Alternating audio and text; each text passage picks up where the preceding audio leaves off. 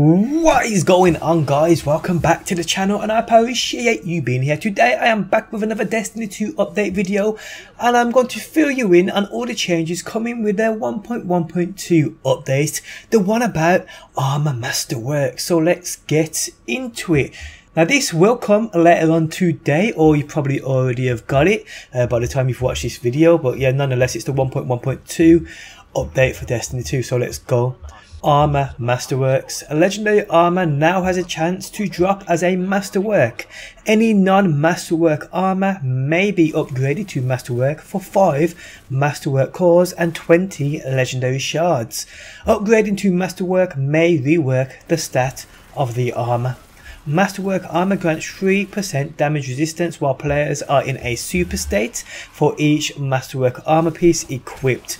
Masterwork armor can have a different stat package, heavy, light, restorative, from the base armor piece. Players may rework Masterwork armor to randomly assign one of the three base packages to the armor, allowing players to reroll the stat packages on their armor piece by piece. Reworking Masterwork armor requires one Masterwork core and 10 legendary shards. Like weapons, Armor Masterworks have a higher drop rate from Trials of 9 and raid activities. Benedict 99-40 now has a rotating stock of armor and weapons available each week. To unlock these items for purchase, players must complete the corresponding activity that week. Raid encounters drop at least one armor or weapon item. Note the Castellum Reactor escape encounters drop one legendary engram per week. Completing a prestige version of a raid encounter prior to normal difficulty will drop both prestige and normal rewards while also locking the weekly rewards for each activity. The last encounter of raid activities has a chance to drop a new exotic ghost exclusive to the Leviathan. Raid armor has unique mods that only function within the Leviathan. Raid mods can be swapped at will for the cost of one raid token. Existing raid armor already held in inventory will automatically have the option to equip mods. All raid encounters now have a chance to grant an exotic reward. And as we found out from the weekly update, these exotic rewards that do drop uh, won't drop as engrams, so you don't have to go back to the Cryptarch to decrypt them. They will drop as an exotic weapon or armor piece, which you can apply straight away. But so many great changes here already to speak about. I like the idea of being able to re-roll your raid uh, armor mods at the cost of one raid token, that's pretty cool. And I love the idea of that new exotic ghost exclusive to the Leviathan. Great, great, great additions. Moving on to the sandbox and the Prometheus lens. Flame refraction perk now generates ammo instead of pulling from reserves and increased base damage. Lucky Pants fixed issue where the illegally modded holster perk would provide infinite ammo. Ophidian's aspects fixed an issue where the Cobra Totemic perk did not function properly when using weapons with the Quick Draw perk.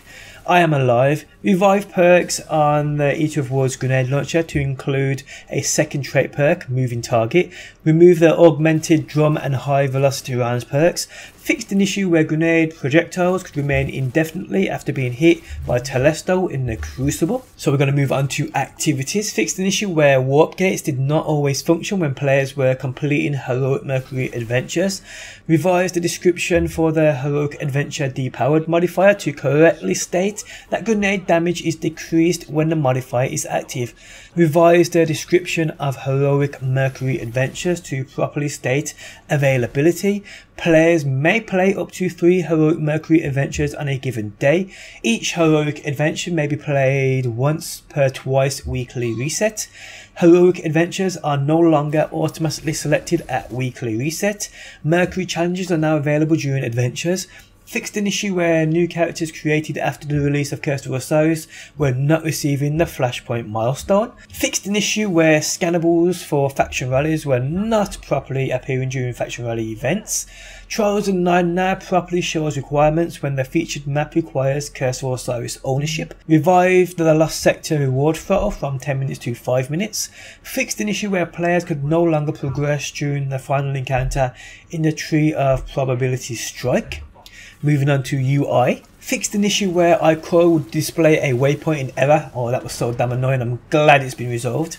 Players in social spaces receive a notification when their postmaster lost and found is full. Chest waypoints now properly appear when using scout reports on Mercury. Colorblind settings now apply to elements of the Gauntlet encounter in the Leviathan raid. Armour offered by Brother Vance now displays mod slots when previewed in the vendor inventory. Fixed an issue where players would see incorrect level up UI when leveling up alternate characters from levels 21 through to 25. Auto rifles now correctly display perks when players are previewing weapons within the vault. Adjusted the display order of gear sockets, mods, shaders, etc. in the item details screen to be more consistent. Increased the dismantle timer for masterwork cores. Masterwork weapons and armor now display a gold border when being viewed in the Postmaster Lost and Found. Crucible players will be properly notified when power ammo is acquired from the cave area on Radiant Cliffs. Moving on to rewards, reduce the amount of XP required to earn an illuminated engram from 160k to 120k, great great addition. The Crossroads emblem correctly displays within collections for players who have earned the emblem. Character models no longer flinch when spawning into social spaces with spawn effects equipped. Updated the names of spawn effects to properly reflect their in-game appearance. The gold spotlight effect is now yellow spotlight effect. The blue class sigil effect is now the purple class sigil effect. The new monarchy helmet ornament icon now displays the correct helmet. The new monarchy cloak now displays the correct imagery for female hunters.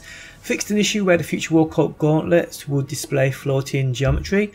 Gunsmith engrams correctly grant weapon foundry shaders once again fixed an issue where 3 coins was not increasing chances of exotic rewards when players were completing public events on Mercury.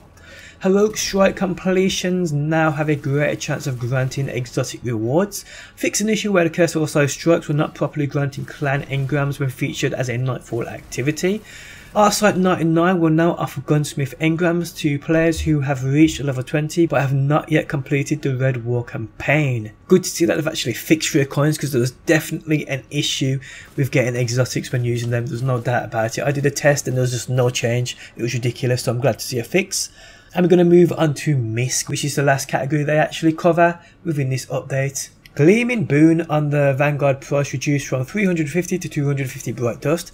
The gleaming boon of the Crucible price reduced from 750 to 600 Bright Dust. Fixed an issue where challenges were not appearing within Quick Play. Fixed an issue where Masterwork cores and mod components were not being forwarded to the Postmaster Lost and Found. Fixed an issue where Destiny 2 could crash when players were changing emotes quickly. Fixed an issue where players could not interact with vendors after fast traveling to a social space. Fixed an issue where the belt on the Lucky Raspberry was not properly attached to the character model fixed an issue where some spiral contrails could obstruct player view, fixed an issue where the get up and sneaky emotes could not be in the player inventory at the same time. Cayde now properly acknowledges player accomplishments during Mercury Flashpoint weeks when granting the Flashpoint Engram, rather than asking the player about the weather on Io and fixed an issue where Zavala would display the wrong text when granting players rewards from the Heroic Strike milestone. So quite a few changes come with a 1.1.2 update patch, which like I said, you should be uh, able to download pretty soon, or if you're watching this probably the day after I've posted it, you've probably already got it, and these are the changes that come with that patch. But guys, I hope you enjoyed the video. If you did, leave a like, it really does help me out. Tell me what you think about some of the changes you've seen and witnessed today, and hopefully people, I will see you on that next one.